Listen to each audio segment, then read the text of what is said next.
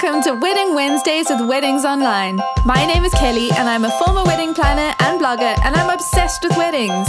If you're planning a wedding in Ireland, you're in the right place. You're going to learn the tried and tested methods to planning your dream wedding without the added stress.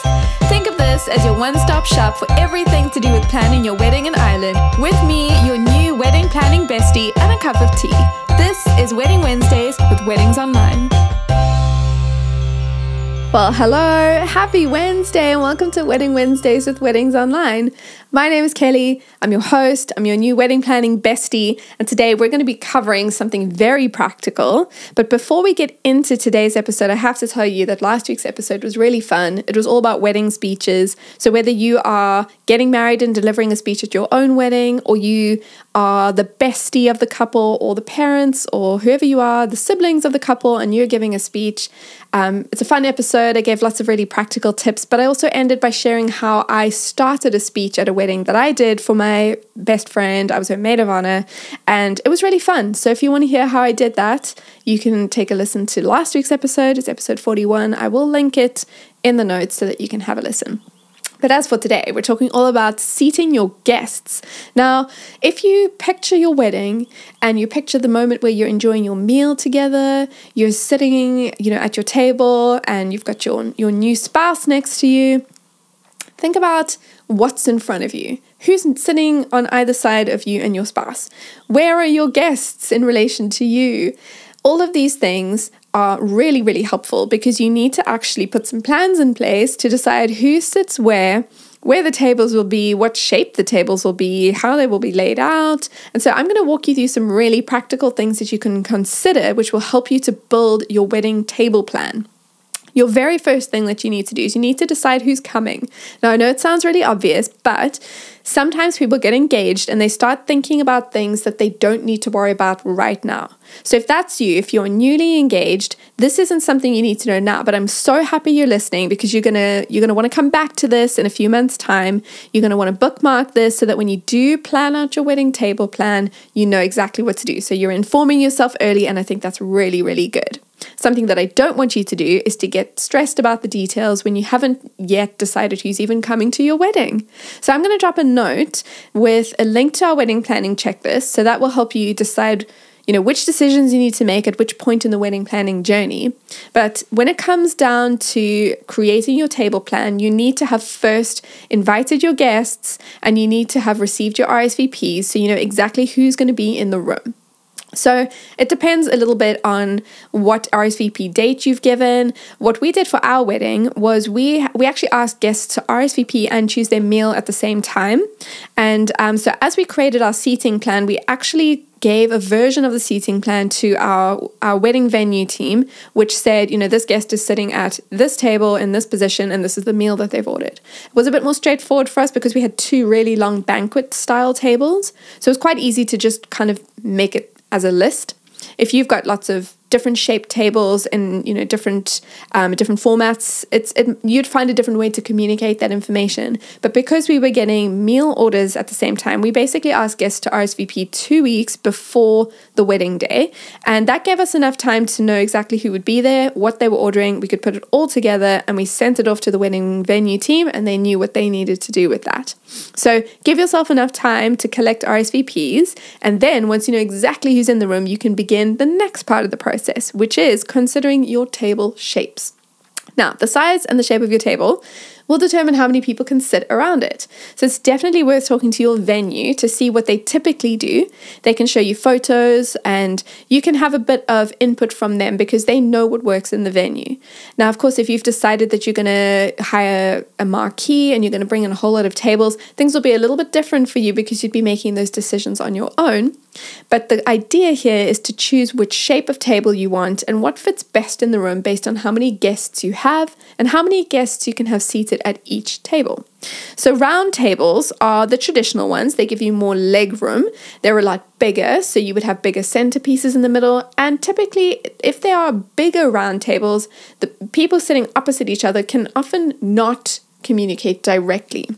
Whereas if you have square or rectangular tables, they're often a little bit smaller, so it's less legroom, but people will be closer to each other and it's great for chatting. So consider your uh, your priorities. If it's more aesthetic, if you've got fewer guests in quite a big space, then maybe having bigger round tables can actually fill the space really well. Or if you're trying to be really strategic with space because you're trying to really cram everybody in, but you don't want to feel like you're cramming them in, then square or rectangular tables could be your best bet, again, depending on the layout of your venue. So now the next thing is to think about who you want close to you. Who do you want sitting at your table? And there are a few different options here. Your first option is you could have what's called a sweetheart table, where that's just you and your partner only. It's called a sweetheart table because you guys are sweethearts and you don't have anybody else with you. It's a really special way to enjoy the moment together when perhaps the rest of the day is quite full on and you're just with loads of people all the time. But while you're eating, you want to be just the two of you.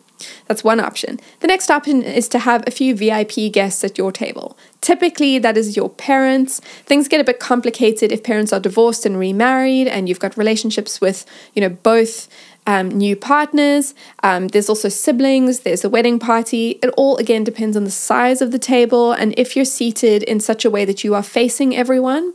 Um, and so, one option is to have, you know, you guys as the couple, your parents on, on either side, and then depending on how long the table is, you could then also have your best man and maid of honor perhaps having their partners as well again, depends how long the table is. But what people tend to do is to have that head table be facing everybody. So you wouldn't have anyone on the other side looking back at you. You would have all your guests and you'd be sitting on the one side of the table, and the other side is often reserved for really beautiful flowers and other decor. So that is one one way to do things. What we did for ours is we had those two banquet style tables that I mentioned before, and so we just made sure that we were sitting um, in the middle of one of those tables, and we structured in such a way that the way that the venue laid out was on the one wall there was this really beautiful big door, and they had these amazing like kind of autumn leaves around the door frame, and um, we sat ourselves in such a way that we were right in front of that door. It wasn't an active door that opened and closed, and so it was basically just a really beautiful backdrop for us. So consider your surroundings, consider who you want around you, and that will help you to build your head table if you are going to have one. The next thing you can do is to consider everybody else. So, I always recommend arranging people by groups. So think about your school friends, your work friends, your partner's work friends. You could have friends from church. You could have friends of parents. There's different categories of people, and I definitely don't suggest that you only seat people in that way. But I always recommend having each guest know at least one other person that's sitting near them. Now things get a little bit tricky if you're having, um, you know, lots of individual guests who don't know people and perhaps don't have a plus one. But for the most part, seat people with someone that they know, and if you can seat them in friendship groups, that's always helpful because then you know they're going to have a great time because they're with people that they know and love and they'll feel really, really comfortable and relaxed. There may be some politics involved. So, if you have friends that perhaps have a history with each other, maybe they dated and broke up, and you want them both at the wedding, find strategic ways to have them not right next to each other and split the friendship group a little bit so that um, you know they each have people that they know and love, but they're not with each other. So, it's all very strategic, but think about the groups of people and how you can seat them. My advice is when it comes to the singles table, you should get rid of it. I've said this many times on the podcast. Nobody wants a singles table. It just draws attention to the fact that someone is single, and the only reason that you're putting these people together is that they don't have a partner, and that's kind of weird. Um, there are lots of ways that you can group people together, and that's just not one of them. My recommendation is to put your single friends with people that they already know or people that you think that they would get along really well with if they don't know lots of people. In terms of kids, if you are planning on having kids at your wedding, my recommendation is to have a kids table. So for guests who are a bit more dependent on their parents, perhaps, you know, younger children who are still being breastfed, for example, you probably want to keep those children with their parents. But for the slightly older children who are a bit more dependent, they're walking, they're playing with each other, they could have activity packs, that kind of thing. You could create a kids' table for them, but don't keep it too far away from the parents. So have the parents of those children nearby so they can kind of keep an eye on the kids during the dinner. But um, it's always fun having a kids' table, they always enjoy it. And excuse me, you can always have some kind of fun activity for them, like coloring books or bubbles or some kind of fun things that the kids can do because they'll always love that. And they feel super special having their own table. Now, I've mentioned before considering the shape of your tables, but you also want to think about the layout of the venue. Now, my my expert tip here is to get the advice of your wedding venue team. So they know exactly how many guests that they can fit in their venue based on the table sizes and shapes and how they lay them out. So it's always a good thing to have a conversation with your wedding venue team to see what they recommend, and then you can work together on how you actually end up setting everything up. But here are some helpful tips that your wedding venue can't necessarily help you with.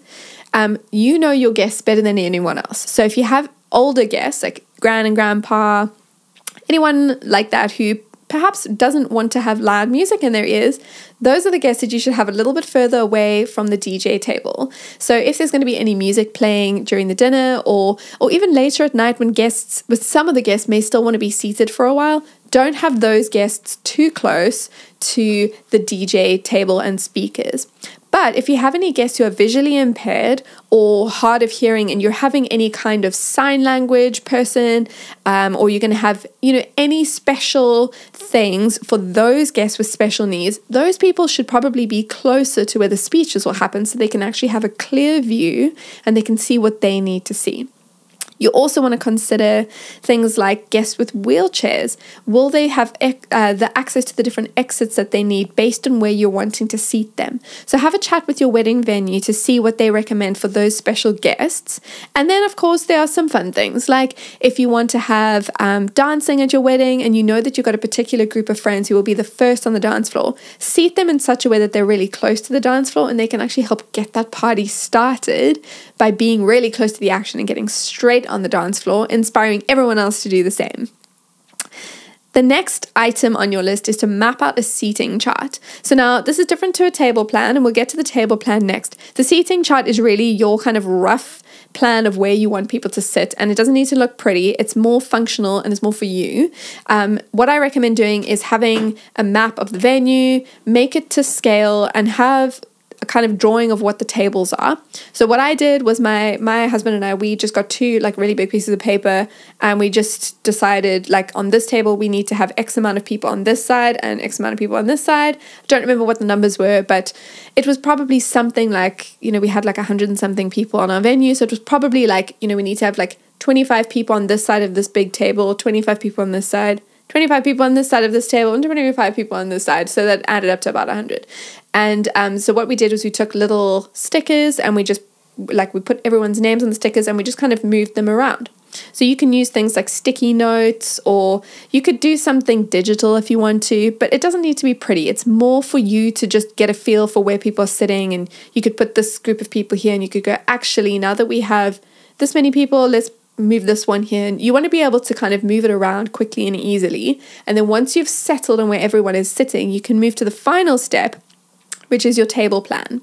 Now, something that I'm going to suggest to you when it comes to mapping out a seating chart and working on a table plan, you do have a couple of options. So, your first option is you can tell people where they're sitting in terms of like this is your table and this is your seat.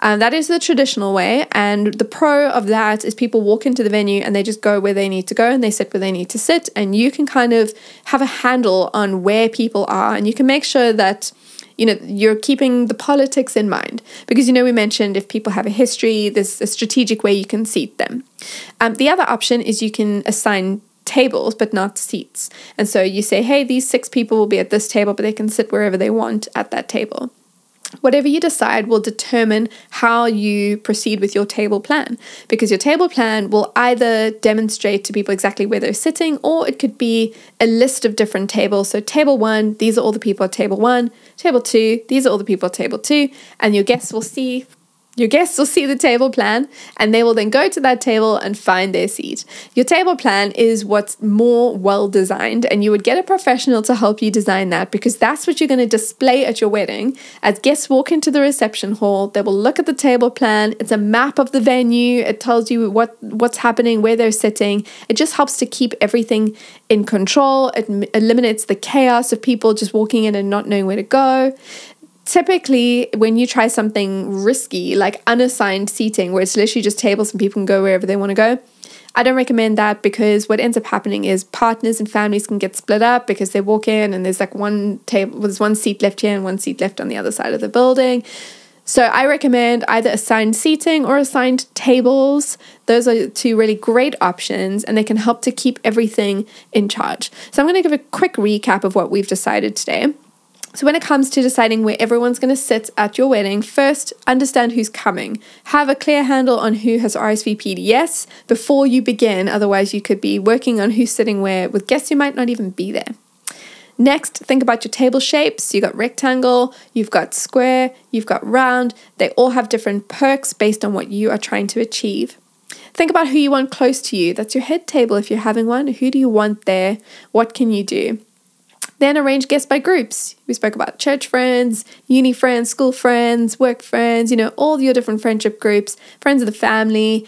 Group them together, and that's one way to start when it comes to piecing together who sits at which table. Ditch the singles table, have a great kids table, but keep it close to the parents. Think about your venue layout. Then begin mapping out your seating chart and then get the, pro- the professionals to help you with a beautiful table plan. Well, thank you for listening today. The Wedding Wednesdays with Weddings Online podcast is produced by me, Kelly, and mixed, mastered, and edited by Glenn Hartman. For more wedding planning tips, advice, checklists, and more, visit weddingsonline.ie.